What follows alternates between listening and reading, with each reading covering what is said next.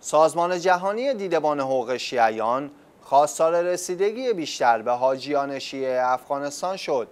شیعه رایس واچ از سازمان حج عمره کشور افغانستان خواست تا نسبت به اوضاع حاجیان شیعه این کشور توجه بیشتری به خرج دهد.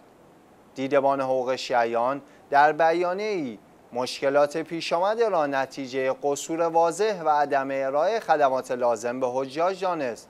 و خواستار بازبینی سریع قوانین و وظایفی شد که سازمان حج عمره در قبال حجاج بر عهده دارد. شیعه رایس باش با بیان اینکه اوضاع بیش از 1700 حاجی شیعه در هتل مروه الجدید در عزیزیه به دلیل عدم برخورداری از غذا در روزهای ششم و هفتم ماه ذوالحجه رو به وخامت گذاشته و بیشتر آنان از سالمندان بودند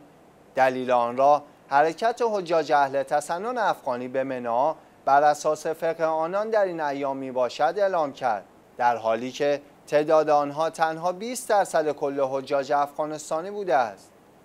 با توجه به اینکه حجاج شیعه در روزهای هشتم و نهم ذوالحجه اعمال منا را انجام می دهند این امر باعث به وجود آمدن شرایط بغرنجی برای حاجیان شیعه به دلیل سوء مدیریت سازمان حج عمره شده است.